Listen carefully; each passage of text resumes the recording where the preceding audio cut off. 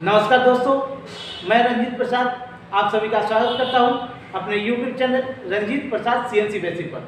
दोस्तों, आज का वीडियो का टॉपिक है प्रोसेस ऑफ़ जॉस सेटिंग और जॉस बोरिंग यानी कि जॉस बोरिंग और जॉस सेटिंग यदि करना हो तो हम किस तरह से करेंगे, उसी के बारे में आज हम फुल डिस्कस करेंगे। तो दोस्तों, ज़्यादा वक्त जाना करते हुए चलिए वीडियो स्टार्ट करते हैं। दोस्तों, ये ड्राइंग आप लोग देख करके समझ ही गए होंगे ये एक जॉस का ड्राइंग है। आप लोग को समझाने के लिए मैं रफली एक ड्राइंग बना रखा हूँ, जिससे कि आप लोग को समझने में कोई परेशानी ना हो। ठीक है दोस्तों? तो इस तरह का जॉस को जब भी हम सेट करेंगे तो हमें कुछ पॉइंट को फॉलो करने होंगे वो पॉइंट क्या है? जो मैं ऑलरेडी यहाँ पे लिख चुका हूँ। जैसे कि नंबर वन पॉइंट है डाया वर्क पीस यानी कि जॉस को सेट करने से पहले हम वर्क पीस के डाया को चेक करते हैं। उसी वर्कपीस के टायर के अनुसार अपने जॉस को सेट करेंगे। ठीक है, ये पहला पॉइंट है। दूसरा पॉइंट फिनिश और रफ यानी कि जिस जॉस को हम लोग सेट कर रहे हैं, वो फिनिश के लिए है या रफ के लिए, उसी अनुसार हम उसको बोरिंग करेंगे। ठीक है? तो पहले हमें ये डिसाइड करना होता है कि जो जिस जॉस को सेट कर रहे हैं, वो किस प्रोडक्ट के लिए फिनिश के लिए है या रफ के लिए। ठीक है? नेक्स्ट टूल नंबर यहाँ पे पॉइंट नंबर तीन है टूल सिलेक्शन अब जॉस सेट करने के बाद हमें उसका बोरिंग करना है। उसका बोरिंग करने के लिए हम किस टूल को सेलेक्ट करेंगे? तो दोस्तों, मैं यहाँ पे आप लोग एक बात बता दूँ कि जब भी जॉस बोरिंग करें तो हम इस तरह का टूल सेलेक्ट करें जिससे कि हम अंडरकट लगाएँ। जैसे कि D N M G B C M T B N M G B B M T इस तरह का टूल हम हर समय सेलेक्ट करेंगे जॉस बोरिंग करने का क्योंकि यहाँ पे जैसे आप लोग को ये अंडरकट दिखाई दे रहा है इस तरह का अंडरकट बनाने के लिए इस टाइप का यदि बोरिंग बार हो तभी इस तरह का अंडरकट हम लोग बना सकते हैं। अदरवाइज़ ये अंडरकट हम लोग नहीं बना सकते। और ये अंडरकट क्यों बनाते हैं मैं अभी आ, आगे मैं आप लोगों को समझाऊँगा। ठीक है? नेक्स्ट अब यहाँ पे पॉइंट नंबर चार है टूल कॉल अब टूल सेलेक्शन कर लिया अब टूल को कॉल करना होगा। टूल को कॉल करने के लिए यहाँ पे देखिए पाँच नंबर पॉइंट में लिखा M mode M D I mode में जाते हैं। एम डी आई मोड में जाकर के यहाँ पे कुछ कमांड लिखते हैं। कमांड किस तरह से लिखेंगे? यहाँ पे देखिए G twenty eight U zero point zero W zero point zero फिर टी ज़ीरो वन ज़ीरो यानी कि जितना नंबर टूल है टूल नंबर दे देंगे। उसके बाद G G zero X two hundred point zero J fifty यहाँ पे एक्स का वैल्यू उतना ही रखेंगे जितना कि हमें वर्कपीस का डाया। मान लीजिए कि हम 200 डाया का वर्क पीस के लिए जॉस को सेट कर रहे हैं तो यहाँ पे एक्स का वैल्यू 200 रखेंगे और यहाँ पे जेड 50 रखेंगे। याद रखिए, यहाँ पे जेड का वैल्यू हमेशा प्लस में रखेंगे। यहाँ पे 50 रखिए या 100 रखिए हर समय, क्योंकि हमें ये नहीं पता कि ये जो टूल है, इसका ज़ीरो कहाँ पे है। आप यदि इसको माइनस कर दीजिएगा तो टूल आकर के ठोक देगा। इसलिए यहाँ पे जेड का वैल्यू हमेशा प्लस में होगा। प्लस फिफ्टी रखिए या प्लस हंड्रेड रखिए, जिससे कि सेम पोजीशन में आपका टूल रहे। क्योंकि अपने को नहीं पता रहता कि इस टूल का जेड पोजीशन कहाँ है, ठीक है? उसके बाद जब ये कमांड दे करके टूल को कॉल कर दिया डायरेक्ट टू हंड्रेड पर। जब इस तरह से कमांड देंगे एम मोड में तो आपका स्क्रीन में दिखलाएगा कि जेड का वैल्यू कितना है और एक्स का वैल्यू कितना है। देखिए कि 200 के लिए आपने कॉल किया तो आपको एक्स का वैल्यू 200 दिखाएगा और जेड का वैल्यू 50 दिखाएगा। जिससे कि आपको ये समझ में आ जाएगा कि आपका जो बोरिंग बार है टू टू हंड्रेड डाया पर आकर के खड़ा है और जेट बाहर में खड़ा है, पचास एम बाहर में खड़ा है, ठीक है? जहाँ भी है वो वहाँ से पचास एम बाहर में खड़ा है, ठीक है? उसके बाद ये, हमें ये पता चल गया कि बोरिंग बार अब आकर के टू हंड्रेड डाया पर खड़ा हो गया, ठीक है? अब नेक्स्ट पॉइंट अब किस तरह से हम बोरिंग करेंगे, इसके नेक्स्ट लाइन में भी हम आपसे डिस्कस करते हैं, पहले इसे समझ लेते हैं। अब यहाँ पे देखिए सेट द जॉब अब हमें 200 डायर पर आकर के बोरिंग बार, मान लीजिए कि ये बोरिंग बार है, ये आकर के 200 डायर पर आकर के खड़ा हो गया। ठीक है, क्योंकि यहाँ पे एक्स का वैल्यू 200 दिए हैं, इसलिए ये 200 डायर पर आकर के खड़ा हो गया। अब देखिए, हम जॉस को सेट करेंगे। इस तरह का तीन जॉस होगा, ठीक है? इसी जॉस को हम सेट करेंगे। तो अब यहाँ पे समझिए। मान लीजिए, ये अपना जॉस है, इस तरह से तीन जॉस होंगे, ठीक है? ये बोरिंग बार है, पचास एम बाहर में है टू हंड्रेड डायर पर खड़ा है, ठीक है? और हम जे अपने जॉस को सेट कर रहे हैं 200 डायर के लिए। ठीक है? अभी पचास एम जेट खड़ा यहाँ से आस्ते आस्ते एम डी आई मोड में टूल को यानी कि हैंड हैंड मोड में टूल को आस्ते आस्ते बोरिंग बार को नज़दीक लाए। ठीक है? नज़दीक लाने के बाद अब यहाँ पे देखिए, अपना टूल ये जो जॉस है जॉस तो अभी लूज कंडीशन है, क्योंकि अभी हम इसे सेट नहीं किए हैं। इसी बोरिंग बार के अनुसार अपने जॉस को सेट करते हैं। अब देखिए, ये बोरिंग बार यहाँ पे आया। ठीक है? जॉस को कुछ ऊपर रखेंगे, इस तरह से। ठीक है? इस तरह से करके हल्का हाथ से बोल्ट को टाइट कर देंगे फुल टाइट नहीं करेंगे। ये बोरिंग बार है, अपना जॉस को इस तरह से सेट कर लिया। और उसके बाद सरेसन आप लोगों को पता होगा सरेसन किसे कहते हैं? जो जॉस के पीछे में और स्पिंडल के पीछे स्पिंडल के सामने में जो तीत होता है, उसी को सरेसन कहते हैं। ठीक है? यानी कि अब जब इस जॉस को हम सेट कर लिए तो ऊपर से हम सरेसन को काउंट कर लेते हैं। यानी कि तीत को काउंट कर लेते हैं। उसी तीत पर सारे जॉस यानी कि तीनों जॉस को टाइट कर लेते हैं। ठीक है? टाइट करने के बाद इतना दूर इतना दूर में गैप रखेंगे, ठीक है? उसके बाद मान लीजिए कि हम फिनिश के लिए जॉस बोरिंग कर रहे ठीक है? अब क्या करेंगे कि एक्स में मूव नहीं करेंगे जेड को यहाँ पे बोरिंग बार को बाहर निकालेंगे थोड़ा सा, ठीक है? बाहर निकालने के बाद यहाँ पे ये जो पोर्शन दिखाई दे रहा, इस तरह से तीन डॉस होंगे। इस पोर्शन के साइड में हम एक रिंग बैठा देते हैं, ठीक है? रिंग बैठा करके इसे क्लेम कर लेते हैं। जब क्लेम करेंगे तो देखिए क्लेम डिक्लेम कंडीशन में बोरिंग बार इतना दूर गैप था, ठीक है? जब क्लेम करेंगे बोरिंग बार को निकाल करके, जब हम क्लेम करेंगे तो जॉस कुछ इस तरह से आकर सेट हो जाएगा, ठीक है? हम जॉस को इस हिसाब से सेट करेंगे, जिससे कि हमें जॉस ज़्यादा ना काटना पड़े। क्योंकि बार बार सेटिंग में जॉस को हमें बोरिंग करना पड़ेगा, और ज़्यादा ज़्यादा यदि हम बोरिंग करेंगे तो जॉस का लाइफ कम हो जाएगा। इसलिए हम जॉस को उसी हिसाब से सेट करेंगे, जिससे कि हम जॉस को कम से कम काटें, जिससे कि जॉस का लाइफ बढ़ जाए ठीक है? अब उसी हिसाब से हम जॉस को क्लेम करते हैं रिंग बैठा करके, यहाँ पे रिंग बैठाएँगे, यहाँ पे एक रिंग होता है रिंग बैठा करके जॉस को क्लेम कर लेंगे क्लेम करके, और ये डायर टू हंड्रेड पर है ही, उसके क्लेम करके हम देख लेंगे कि हाँ मेरा टूल जॉस को अब ज़्यादा नहीं काटना है और उसके बाद क्या करेंगे कि ये बोरिंग बार को यहाँ पे लाएँगे, यहाँ पे ला करके, और उसके बाद स्पिंडल को रोटेट करेंगे स्पिंडल को रोटेट करके आस्ते आस्ते आस्ते आस्ते अंदर जाएँगे। अब यहाँ पे देखिए एक पॉइंट पहले पढ़िए। लेंथ ऑफ़ जॉब बोरिंग करने से पहले हमें यहाँ से यहाँ तक, यानी कि इस पॉइंट से लेकर के इस पॉइंट तक का हमें लेंथ पहले देख लेना होगा। क्योंकि हम जो बोरिंग करेंगे, उसमें से गरम गरम चिप्स निकलता है, जो कि अपने आँखों में भी जा सकता है, अपना कपड़ा भी जल सकता है। इसलिए यहाँ से पहले बोरिंग करने से पहले यहाँ से यहाँ तक का लेंथ हम देख लेंगे। ठीक है? अब देखने के बाद स्क्रीन में उसका वैल्यू नोट कर लेंगे। मान लीजिए कि अभी टूल जेड हंड्रेड पर खड़ा है यहाँ पे जेड हंड्रेड पर खड़ा, ठीक है? जेड हंड्रेड पर खड़ा टूल को यहाँ पर ला करके, थोड़ा डाउन करके, यहाँ पर ला कर टच करके देख लेंगे कि यहाँ यहाँ से, यहाँ तक इसका लेंथ कितना है। तो मान लीजिए, ये अभी टूल हंड्रेड पर खड़ा और यहाँ से, यहाँ तक है पच्चीस है। यानी कि जब टूल यहाँ तक आएगा तो ये total one hundred twenty five हो जाएगा, ठीक है? तो इस वैल्यू को हम कहीं नोट कर लेते हैं। इसलिए नोट कर लेते हैं, क्योंकि दरवाज़ा बंद करके जब हम बोरिंग करेंगे तो 125 पर जाएगा तो हम वहाँ पे स्टॉप हो जाएगा, उससे अंदर नहीं जाएँगे। उससे अंदर जाएँगे तो यहाँ पे आकर के टूल टकरा जाएगा। इसलिए 125 पर जाकर के उसके बाद फिर अंदर नहीं जाएँगे टूल को आस्ते आस्ते बाहर निकालेंगे। ठीक है? तो यहाँ से यहाँ तक पहले हम लोग लेंथ देख लेते हैं और उस वैल्यू को नोट कर लेते हैं। ठीक है? यहाँ तक क्लियर हो गया? अब देखिए।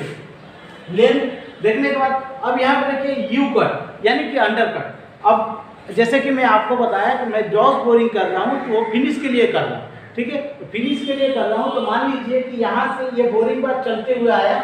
और यहाँ से यहाँ तक हम लोगों ने ले ली जो लेंथ है, इसका लेंथ हम लोगों ने कितना देखा था? इसका लेंथ देखा था हम लोगों ने पच्चीस, ठीक है? और ये अभी ऑलरेडी खड़ा है इसका, ये जेड का वैल्यू इसका है हंड्रेड ठीक है? ये अभी हंड्रेड पर खड़ा है और यहाँ से और पच्चीस यानी कि total one hundred twenty five हो जाएगा, ठीक है? ये total one hundred twenty five हो जाएगा। तो स्टूल को धीरे धीरे मैनुअल यानी कि हैंडबोर्ड में धीरे धीरे धीरे धीरे अंदर की तरफ़ जाएगा। जब यहाँ पे 125 पर आएगा, यानी कि ये फेस है टूल आकर के यहाँ टच हो जाएगा। ठीक है? अब इसके बावजूद भी यदि अंदर जाते हैं तो ये फेस काटना शुरू कर देगा, और यदि थोड़ा स्पीड में गया तो यहाँ पे टूल टूट सकता है। यानी कि इंसान यहाँ पे टूट सकता है, इसलिए वन हंड्रेड ट्वेंटी पर जा करके टूल यहाँ पे खड़ा हो जाएगा। और यहाँ पे खड़ा होने के बाद जैसे ही one hundred twenty five reach करता है, यहाँ पे हमें अंडर कट देने अंडर कट क्यों देते हैं? इसे समझ लेते हैं। अब मान लीजिए, इस तरह से यहाँ पे देखिए, इस तरह से कोई वर्क पीस है, ठीक है? इस तरह से वर्क पीस है। यहाँ पे इसको हम लोग क्लेम कर रहे हैं, ठीक है? इसको क्लेम कर रहे हैं, यहाँ पे क्लेम करने पे यहाँ पे देखिए कोई चेम्पर नहीं है। जब भी हम इसको क्लेम करेंगे जॉस में तो ये क्या करेगा? आगे की तरफ़ फेंक देगा। ठीक है? और यहाँ से यहाँ तक इसको मशीनिंग करके हमें हंड्रेड इसका हाइट मेंटेन करना है, जो कि ये हाइट क्रिटिकल हाइट है। ठीक है? ये हाइट क्रिटिकल हाइट है, लेकिन मैं क्या किया कि इसको क्लेम करने के बाद जब मैं मशीनिंग किया तो देखा कि इसका हाइट कम हो गया, ये 99.8 आ गया, यानी कि पॉइंट टू बेसीमीटर कर दिया। क्यों बेसीमीटर कर दिया? क्योंकि जब हम जॉस को यहाँ पे इस तरह से क्लेम किए, यहाँ पे कोई अंडरकट नहीं है, ये इस कर्नल में कोई अंडरकट नहीं है, यहाँ पे कोई वर्कपीस को क्लेम करेंगे तो पॉइंट टू पॉइंट थ्री बाहर की तरफ़ ठेल ठेलेगा क्यों ठेलेगा क्योंकि ये जो वर्कपीस है, यहाँ पे कोई चेम्बर नहीं है, ठीक है? यहाँ पे यदि चेम्बर रहता तो ये आगे की तरफ़ नहीं ठेलता, ठीक है? लेकिन मान लीजिए इस वर्कपीस में कोई चेम्बर नहीं है तो ये तो आगे की तरफ़ ठेल जाएगा तो ऐसे कंडीशन में हम क्या करते हैं कि यहाँ पे एक अंडरकट बना देते हैं। यानी कि जॉस में कुछ इस तरह से अंडरकट बना जैसे कि ये अंडरकट आपको दिखाई दे रहा है। ठीक है? ये अंडरकट इसी तरह का अंडरकट हम बना देते हैं। जिससे कि जब भी हम वर्कपीस को क्लेम करेंगे तो ये टूल जितना है उसी को क्लेम करेगा, आगे की तरफ़ नहीं ढकेलेगा ठीक है? इसलिए यहाँ पे अंडरकट देते हैं। अब आप लोगों को समझ में आ गया होगा कि अंडरकट क्यों देते हैं। अब देखिए ग्रिप पॉइंट अब जैसे कि मैं अभी आप लोगों को बतलाया था कि फिनिश के लिए हम लोग जॉस बोरिंग कर रहे हैं। तो फिनिश के लिए जॉस बोरिंग कर तो कोई मान लीजिए कि इसका ओडी फिनिश है, ये ओडी जो है फिनिश है, ठीक है? ये ओडी फिनिश है, यहाँ पे हमें कुछ प्रोफ़ाइल बनाने हैं, इसको क्लेम करके ठीक है? अब ये तो फिनिश है। अब क्या हुआ कि जब इस पर लोड पड़ेगा तो ये क्या होता है? स्लिप करता है। क्योंकि हम लोगों ने जॉस को यहाँ पे बोरिंग कर दिया, ये तो बोरिंग कर दिया। ठीक है? तब ये क्या करेगा? जब इस पर लोड पड़ेगा तो ये स्लिप कर सकता है। तो इससे बचने के लिए हम लोग क्या करते हैं कि यहाँ पे यहाँ पे हल्का हल्का इस तरह से ग्रिपिंग के टाइप का, यानी कि लाइन लाइन बना देते हैं। वो क्यों बनाते हैं? जिससे कि जॉस क्लेम करे, वर्कपीस को स्लिप ना हो, इसलिए यहाँ पे एक लाइन लाइन मार्क बना देते हैं। और ये मार्क किस तरह से बनता है?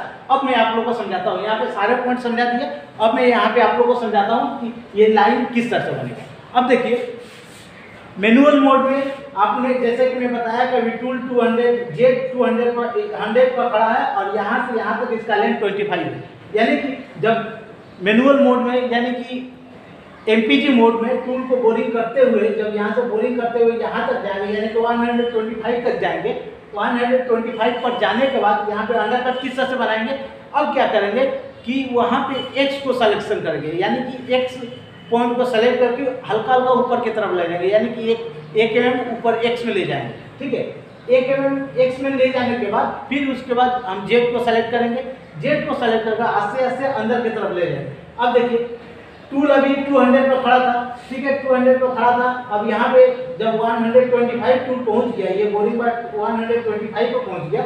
अब यहाँ पे क्या किया कि हम एक एक्स में एक एम ऊपर की तरफ़ गए, ठीक है? अब एक में एक्स में एक एम ऊपर गए, अब यहाँ तक, यहाँ पे तो अंडर कट लग गया, अब टूल को थोड़ा अंदर ढुका देंगे। टूल को अंदर ढुकाने के लिए हम क्या कर रहे हैं कि जेड को सेलेक्ट करेंगे। जेड को सेलेक्ट करके आस्ते आस्ते आस्ते आस्ते टूल को अंदर की तरफ़ ले जाएँगे। ऐसे कंडीशन में देखिएगा कि आप इस तरह से अंडरकट बन जाएगा। लेकिन जब ये अंडरकट बन जाएगा, इस तरह से टूल अंडर अंडरकट बन गया और टूल को जब सीधा आप निकालिएगा, या तो एक्स में निकालिएगा या जेड में निकालिएगा तो देखिए टूल तो अंदर में है ये ये आपका इस तरह इस तरह से लाइन है और टूल इस तरह से टूल इसके अंदर में आप यदि जेड में बाहर निकालते हैं तो ये डाया कट जाएगा। और यदि एक्स में नीचे करते हैं तो ये डाया कट जाएगा। तो ऐसे कंडीशन में क्या करते हैं? थोड़ा सा जेड को बाहर की तरफ़ लेंगे थोड़ा सा एक्स को बाहर की तरफ़ लेंगे। इस तरह से, आस्ते आस्ते आस्ते आस्ते, जिससे ये भी देखेंगे कि कहीं एक्स और जेड में कहीं कट तो नहीं लग रहा। इस तरह से करके बाहर लेंगे। बाहर लेने के बाद ये जो पॉइंट है इंसर्ट का यहाँ पे हल्का सा टच करेंगे।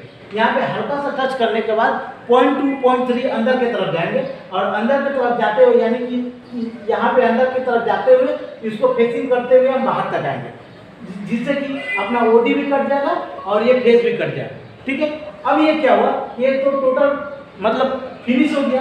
यहाँ पे कोई लाइन मार्क नहीं है टोटल फिनिश है। लेकिन हमें क्या करना है कि यहाँ पे एक लाइन मार्क बनाना है, यानी ग्रिपिंग पॉइंट बनाना जिससे कि अपना कंपोनेंट स्लिप ना हो। तो अब क्या करेंगे? फिर इसको यहाँ पे पॉइंट वन दे करके ऊपर की तरफ़ ले जाएँगे एक्स को ऊपर की तरफ़ ले जाएँगे। जब एक्स को ऊपर की तरफ़ ले जाएँगे तो टूल यहाँ पे आएगा। और यहाँ पे आने के बाद, यहाँ पे एक एम mm जो एम पी जी मोड में, वहाँ पे देखिए एक्स वहाँ पे वैल्यू रहता है पॉइंट वन दस माइक्रॉन का रहता है पॉइंट वन का रहता है, और एक एम mm का रहता है। तो एक एम mm को सेलेक्ट करते हैं। और यहाँ पे टू- अब ये ये जो टूल है, यहाँ पे खड़ा है, ठीक है? यहाँ पे खड़ा और एक में सेलेक्ट करके टूल को तेज़ी से बाहर निकालेंगे।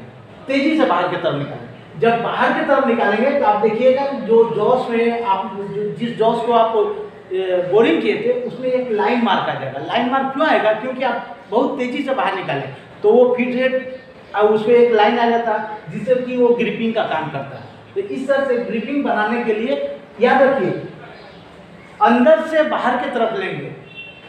बाहर से अंदर की तरफ़ कभी नहीं लेंगे। क्योंकि यदि बाहर से अंदर की तरफ़ तेज़ी में लीजिएगा तो ये टूल आकर के अंदर में टकरा जाएगा। इसलिए यहाँ पे यहाँ पे टूल को लाने के बाद तेज़ी से बाहर की तरफ़ लाते हैं। ठीक है? तो इस तरह से ग्रिपिंग पॉइंट यहाँ पे अपना बन जाता। है बन जाने के बाद फिर क्या करते हैं कि बोरिंग बार को बाहर निकाल लेते हैं। बाहर निकालने के बाद इस पॉइंट में जो हम लोगों ने रिंग दिया था, उस रिंग को निकाल लेंगे।